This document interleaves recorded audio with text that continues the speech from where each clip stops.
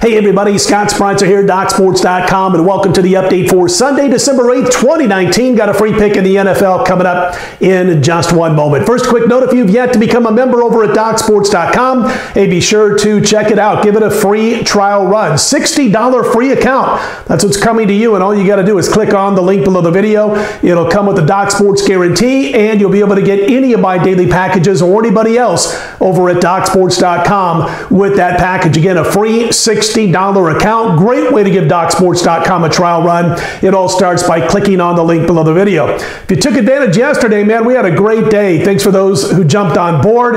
And uh, six and one in football, basketball, and the NHL combined. We swept this week's college football 3 and 0, with our top play being that Oregon Ducks winner over the Utah Utes. And then we went 2 0 on Saturday. We won with LSU and we won with the Baylor Bears. So a nice 3 0 weekend in college football. And that extends our football run, college football, NFL combined, over the last seven weeks now to 32 and 18. That's 64% against the spread, up over $4,000 for those wagering just $100 per unit. And we're not done yet. We got four more plays going on Sunday's card in the NFL, including a seven unit side, including a five unit play. You don't want to miss out. All four plays available right now. DocSports.com, 64% the last seven weeks. Big weekend, big Saturday already in the bank. Also with Friday Night Football, also cashing there with Oregon. So don't miss out. You can grab the football plays, the four NFL plays, including the seven and the five unit plays right now as we speak. But that wasn't all.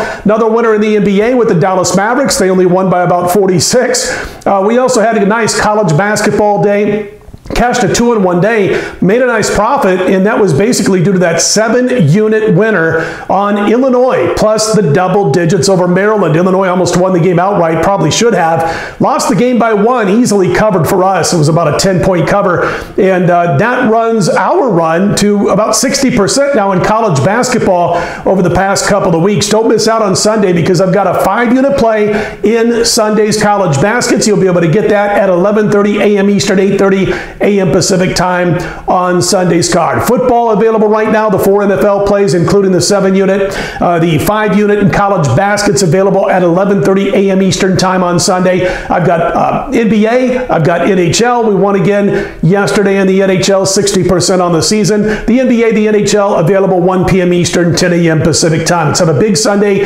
and make it what's been a big weekend already. Not only six and one with those premium football, NBA, college basketball plays and the NHL. 7 and 1 if you include our free pick winner here yesterday with Clemson.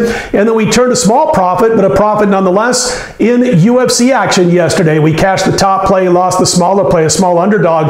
Uh, but again, a, a nice profit for us in the UFC. We've now gotten 75% the last couple of cards in UFC action. All right, let's get to the information for Sunday. As you know by now, uh, every Sunday around 12:30 p.m. Eastern, 9:30 a.m. Pacific, uh, we give the betting report from Vegas in the NFL, which includes you know, the biggest bet game ticket wise, the biggest bet game money wise, where the sharps are, where the squares are, all that kind of good stuff. So we'll be doing that again. Tune into a local ESPN station nearest you. It's on ESPN National every Sunday throughout the football season. And uh, wanted to give you, though, a heads up on as we go into Sunday morning uh, where the betting is. And right now, when you look at the most lopsided bet game ticket wise by percentage, it is the Baltimore Ravens. They've drawn 70% of the tickets. They're laying about six at the Buffalo Bills. Again, Baltimore heaviest bet team percentage wise as far as the spread is concerned.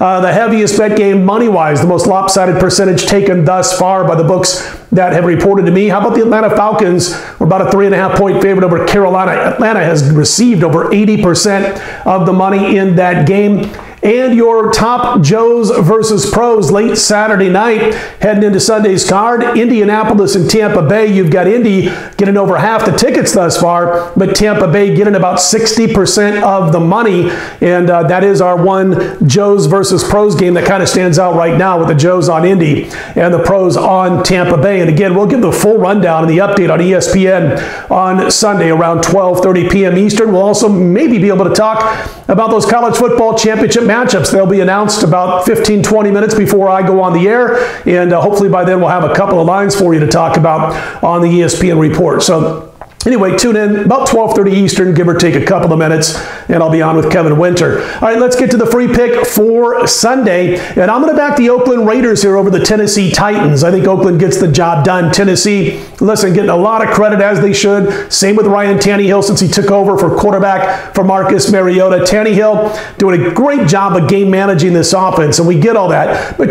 excuse me, check out the schedule lately for the Tennessee Titans the teams they played the last couple of weeks, the kind of wins they've had to put together. They've got a divisional clash next week, and now they get this game that falls in the middle of all that on the road against the Oakland Raiders. And we do like the Raiders to get the win here. Tennessee last week, man, they came from behind against Indy, but it was thanks to some Indy miscues. It was a banged up Indianapolis football team. We saw for the first time, basically, uh, Jacoby Brissett making a costly mistake for the Indianapolis Colts. And the game was tied at 17. Vinatieri's lining up for a field goal, and you saw what happened. Tennessee Tennessee blocks it, returns it for a touchdown, and basically it's game over. So again, Tennessee's had some fortune go their way. They're playing much better football with Tannehill at quarterback, uh, but just in a tough spot here. We like the Oakland Raiders plus the points on Sunday. Our free pick again on the Oakland Raiders.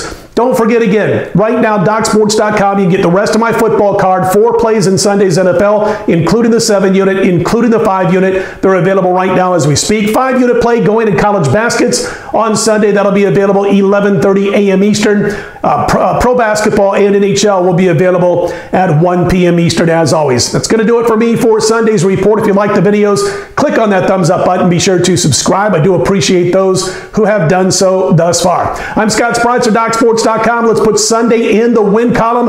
Right back here Monday, about 5 a.m. Eastern, 2 a.m. Pacific.